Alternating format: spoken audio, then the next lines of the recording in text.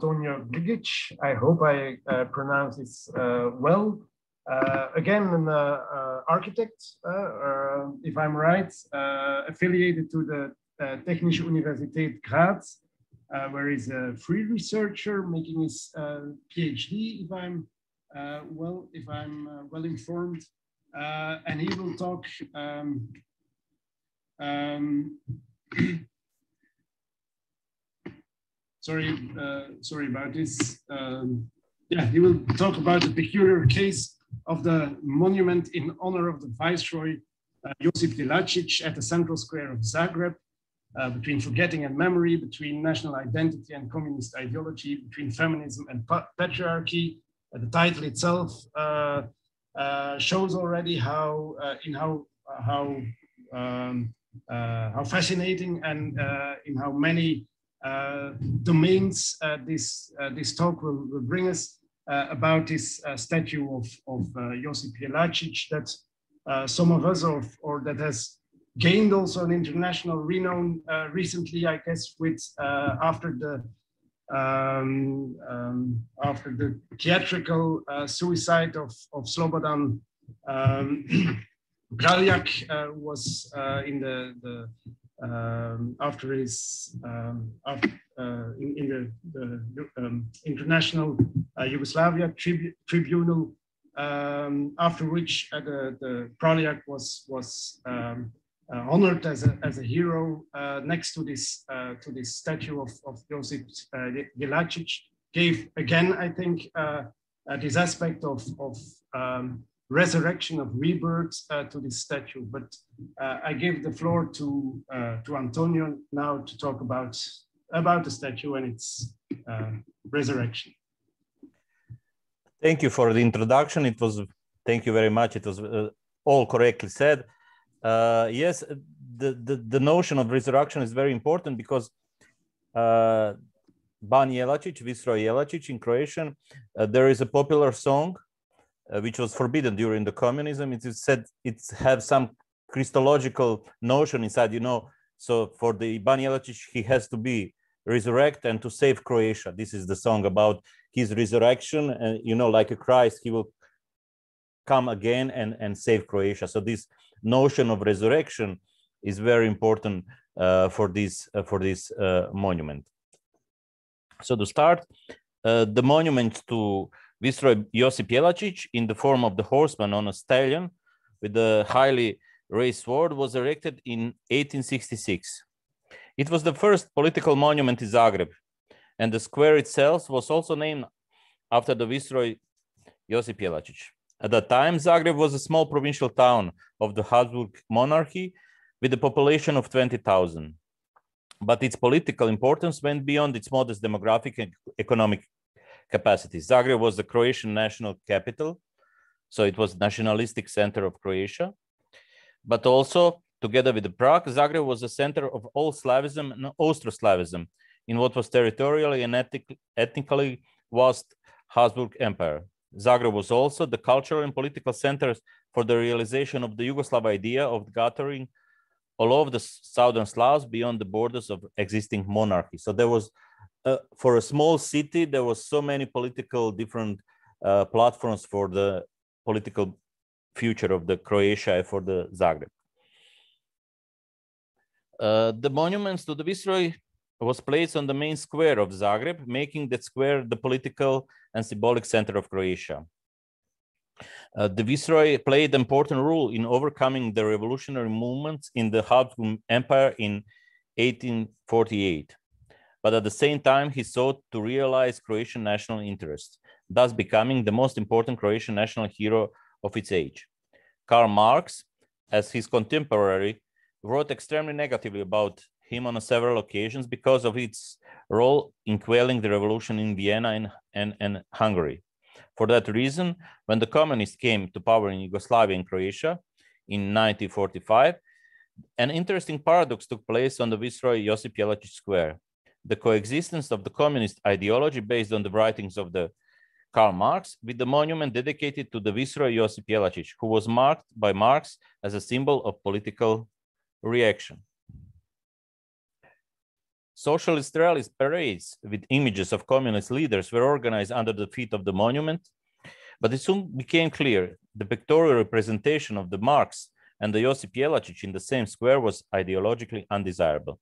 There was no room for both of them in the square.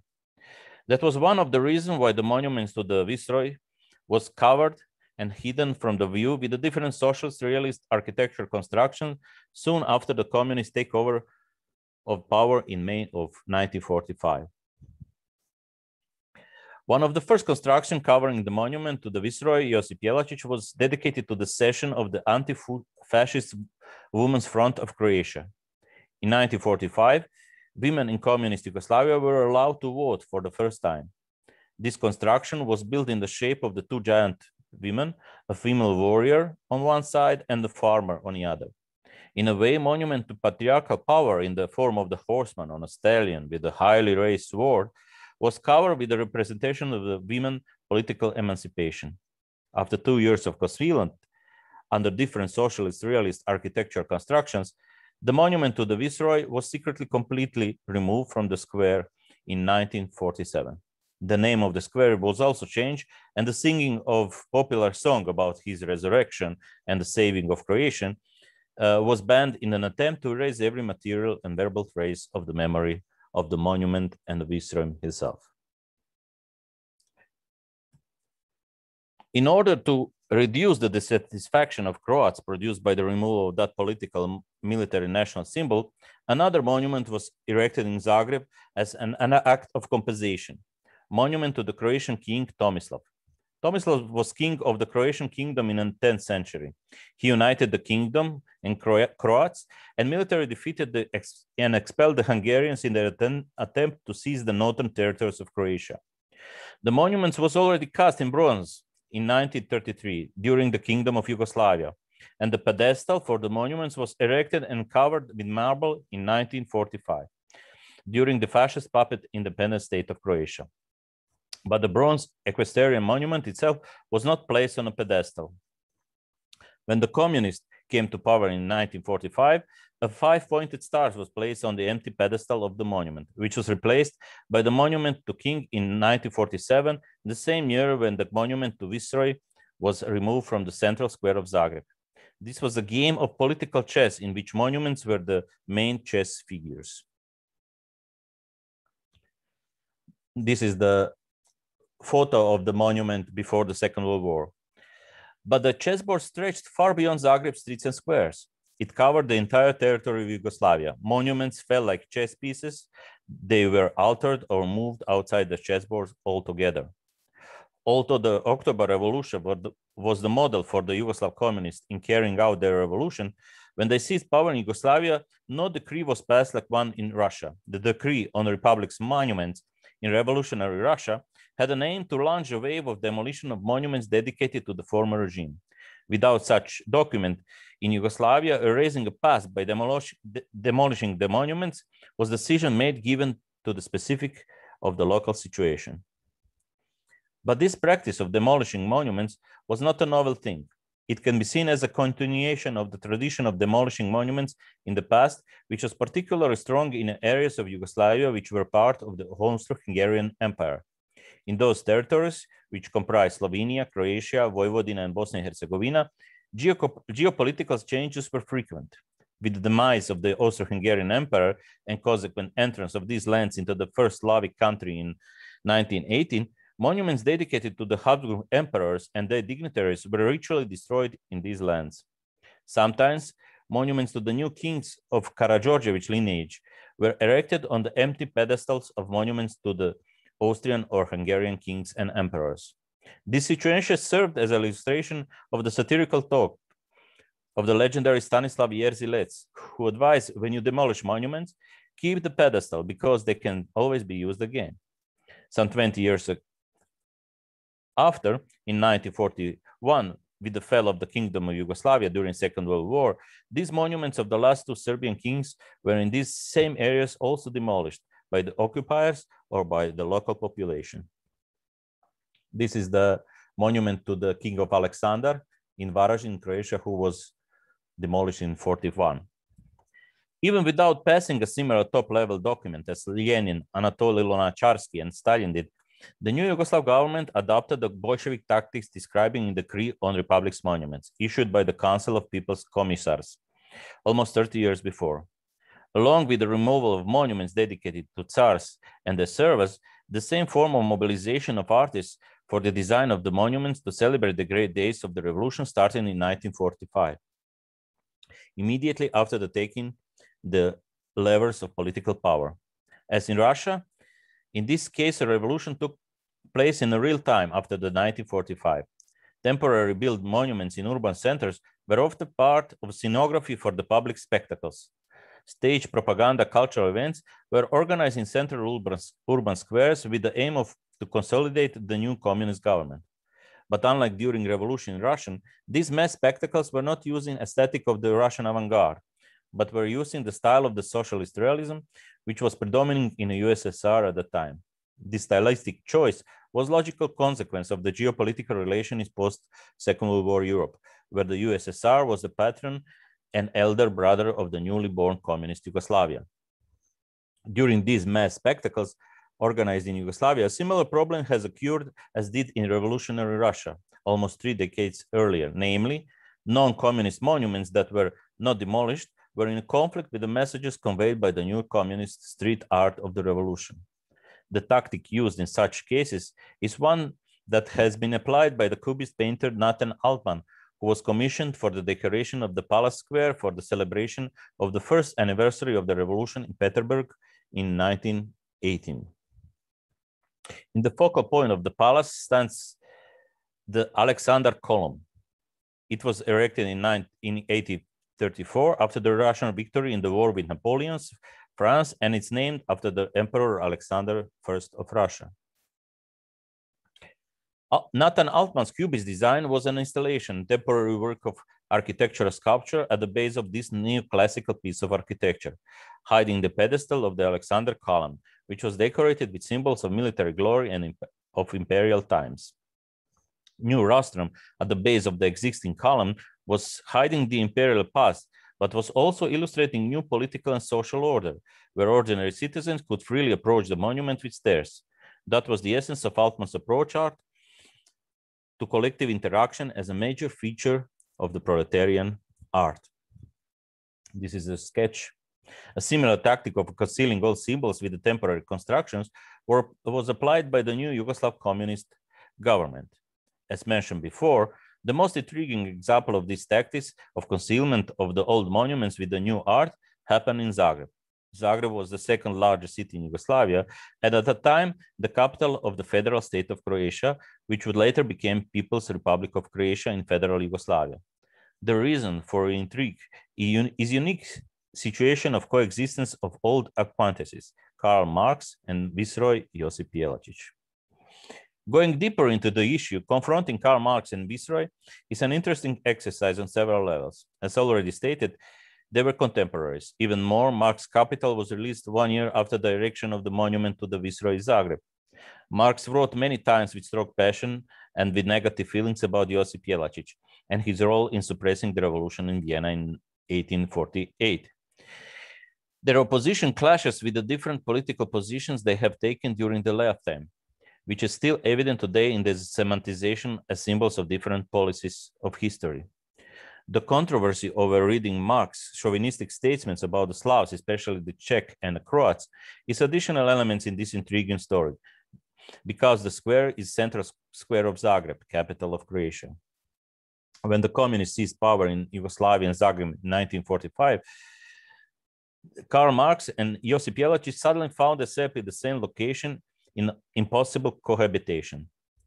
The government changed the new name and get the new name of the square. It became Republic Square in 1946. The new government also organized a series of mass spectacles, spectacles on the Republic Square after the liberation.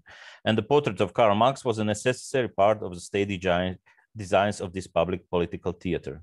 The cohabitation of the two representatives of the character of Karl Marx and Josip Jelačić was of course ideologically impossible and resulted in the removal of one of them.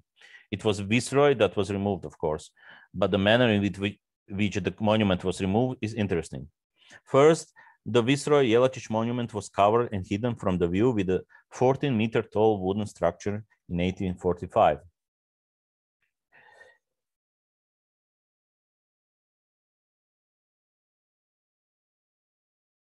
The monument to the Viceroy, in the form of a horseman on a stallion with a highly raised sword, was a metaphor for patriarchy with a strong and explicit phallic connotation. That is why it is interesting that the woman is the first motive that was placed on the wooden construction with which the monument to the Viceroy Jelačić was hidden. It was done for the occasion of the first Congress of the Anti-Fascist Women's Front of Croatia. Women were equal fighters during the Second World War in a partisan movement that promised gender emancipation. After Second World War and with the establishment of the new government, they were given the right to the vote in elections. In this way, this new temporary monument in the Republic Square, together with living monuments in the form of the procession that took place around it, became a sign of a promise of emancipation, not only of women, but the, the whole society as such. The woman in public space was no longer the object of sublime religious or nationalistic veneration, but a political subject both in the war trenches as in the war process. On one side of the gigantic structure that covered the monument was a plaster relief of a colossal partisan woman with a rifle, and on the other, a peasant woman with a hay fork. This short-term and temporary break in the monopoly of the representation of the patriarchy in the main city square indicated the beginning of the political emancipation of women after the liberation of the country. Also, it indicated the new ways of involvement of women in political processes.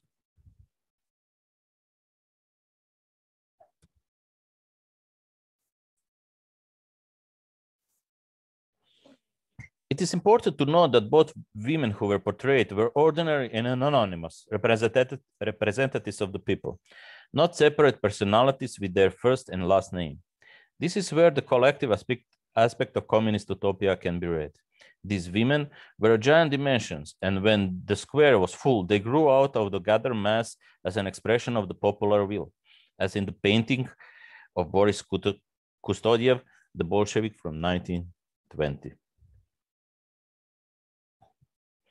After the first Congress of Anti-Fascist Women Front of Croatia, celebrations of other political events also introduced new architecture that covered the monument to Viceroy Jelačić. On the occasion of the May 1st celebration, the edifice that covered the monument was in the form of the anvil as the symbol of the work, and on another occasion in the form of the electric power line tower. Temporary monuments in the service of the overlay of the old monument altered one after another until both of them covered constructions and monuments proper disappeared in 1947. Namely, the equestrian monuments to Ban Josip Jelačić was cut into the pieces and dismantled, and after two years of his, of his concealment, he disappeared from the square and gave his place to the contemporary Karl Marx utopia, which took place in its central locus on ideological fantasy.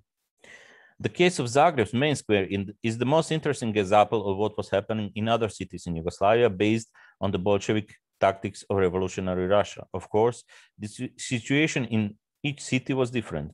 The major difference between Yugoslavia and revolutionary Russia is that the style used in the said in the set design. In Yugoslavia, it was socialist realist style that was used, rather than the cubists like Nathan Altman or constructivists like Popov and Vesnina unless, of course, we consider this act of building itself a construction around all monument, a constructivist act by itself.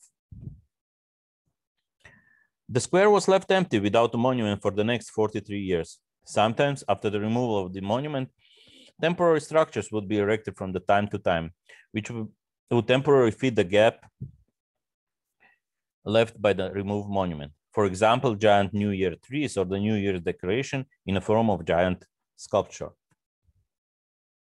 or a temporary metal upright structure was erected and served as an advertisement for the Zagreb Fair with the flags of the countries participating in the fair. In this example, instead of the national monuments of the Viceroy, we got international monuments to the economic power that was the only substitute and consolation for the loss of any political or military power within the new political formation of which Zagreb and Croatia became part. This lasted until the fall of communism in 1919, when the square was renamed the Viceroy Josip Jelačić Square again, and the monument was re-erected on the square with the organized mass event with the laser show, which was covered by the live television broadcast. It was a symbolic act of creating the illusion of the end of the history and setting the ideological conflicts in the newly formed, formed ideology that claimed that there was not ideology at all and that we have reached the post-ideological society. Okay. Thank you. Thank you very much, Antonio. Uh, very fascinating once more, uh, the, this, this, entire history of this uh, of this statue uh, through the ages is uh, really fascinating.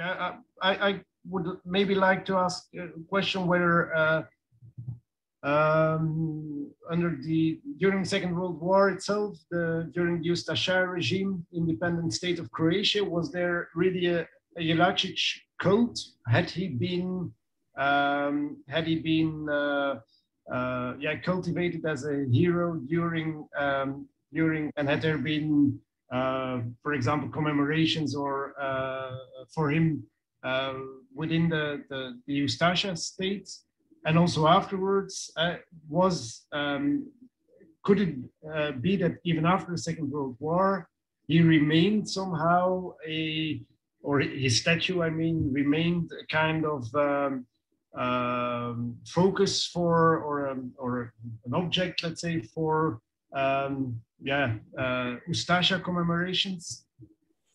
Uh, well, uh, this second thank you for a question. Uh, the second question is no, because he was not really um, connected with the Ustasha regime. Ustasha regime also uh, tried the all national symbols, including the Viceroy Ban Jelačić, to include into its narrative.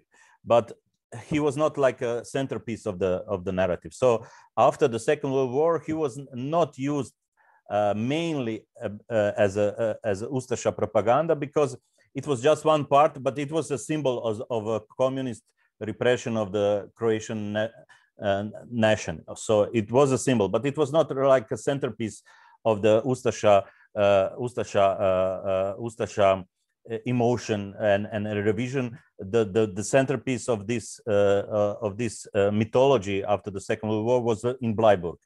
You probably know, you are very informed, in Austria, where the Ustasha uh, army uh, surrendered to the British, and the British army uh, uh put them in, under the control of the Yugoslav army, which uh, killed something about uh, 50,000 to the 80,000. It's not the number is not clear of the Ustasha. So this was the centerpiece of the uh resentment of the Ustasha regime. So it was used as a as a as a as a symbol, but not so much. Uh, and during the Second World War, so uh, the Ustasha, there was not some big uh, uh some big uh, celebrations uh, in Ban Jelačić, but Ustasha made some other thing. They made another monument near the near the near the um, Ban Jelačić monument. I show it now.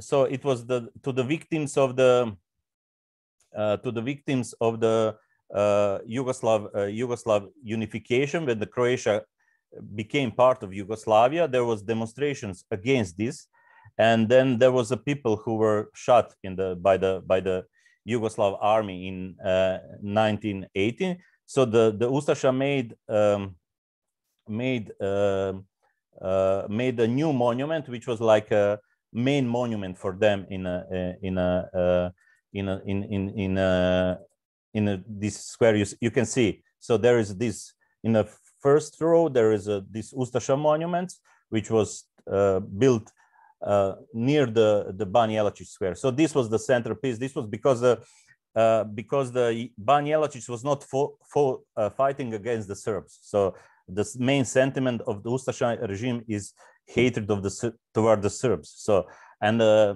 the uh, the Ban Jelačić was not um, fighting against the Serb. He was not anti-Serb. um, not just that, he was, when he became the viceroy, uh, he was uh, crowned, let's, let's be said, in the church by the Orthodox, Serbian Orthodox priest, because the, uh, the Bishop of Zagreb was not at the time in Zagreb, but also when he fought against Hungarians for the Vojvodina, which is now north of the Serbia, but then Vojvodina was part of Austro-Hungary. He was calling the Vojvodina Serbian, so he was fighting for the Croatian uh, interest, but also for the Serbian Vojvodina. So the Vojvodina would become the part of Serbia. So he he was not a anti-Serb, and for the Ustasha uh, ideology, which was mainly anti-Serbian, uh, he was not a very important uh, person. Okay, thank you. That's very clear. thank you. Thank you. Thank you for your question. Other questions? Someone? Yes, Bruno? What, what, what was the purpose of uh, not not uh, immediately destroying the monument after the Second World War? Why did they cover it up for uh, for some time, and, and later uh, removed it? Uh, thank you for your question, uh, Bruno.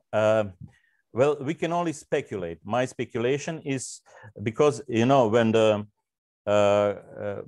partisan movement take over the Croatia and Zagreb, um, there was, you know, uh, for a small period of time, four years, there was independent state of Croatia, which was like a puppet state of the Hitler, and but it was a Croatian state. So many people at the beginning believed that it was, you know, Croatian dream to have a state. So uh, it was a national symbol. After, after two weeks, it, it, it was obvious it is it was not the state. It, it, it, it was a fascist puppet state without any uh, prerogatives of a state. So the mainly Croatians went to the partisan movement. So like there was hundreds of thousands of partisans from Croatia coming fighting against this state. But so after the U Yugoslavia uh, started to to be modeled again, it was important not to destroy uh, national symbols and Croatian because you let's say you destroyed the independent state of Croatia. It was not independent, it was not a state, but it was called independent state of Croatia. So you cannot, you know, try to destruct all the symbols of, of the nation. And uh, Ban Jelačić, we didn't have uh, in Croatia, let's say for last 500 years, many heroes. Ban Jelačić was one of them. And so it was very important not to destroy it uh, at once. So there was this magical you know trick. They made these constructions around it. And then at one point two years you know after two years people starting to not remember that under this this construction there was something else. And then after this two years the construction but also the monuments you know like in a magician head it disappeared. So i think it was it was it was done you know as a as a as a let's make temporary movement from the destruction of the monuments, but not to done it uh, immediately because the you know in Zagreb people and in Croatia the Ban Jelačić was a national hero. It will be seen you know and as an anti-Croatian uh, anti-Croatian stance. So the the communists were really uh, trying to be uh, uh, uh, let's say to go on the toes with destroy because there was not a really reason for destruction of these monuments. It was done by, as we know, by Mika Špiljak. He was a Croatian, and he was uh, he ordered it, and uh, he was Croatian communist. So it was really a strange decision because in in in, in Belgrade, in the central Belgrade, there is a Knez Mihailo, also monuments on a equestrian monument with the uh, with the horse and everything, but it was not distracted. So uh, the reason why Ban Jelačić was distracted and uh, this in Belgrade was, let's say that the Ban Jelačić was a servant to the foreign emperor, to the Habsburg emperor. So this is the reason why we dis destroy, we are destroying him and not the, the, the, the, the same king, let's say in Serbia, who was, who was like king of a national blood, of Serb blood. So this was the, distinction, but really it, it is a strange decision because um, it, it, they destroyed this other fascist fascist monument which was built in a, in a, in a uh, in the same square. So a reason for destruction of this monument really was really strange. You know? Okay, thank you very much. Thank you.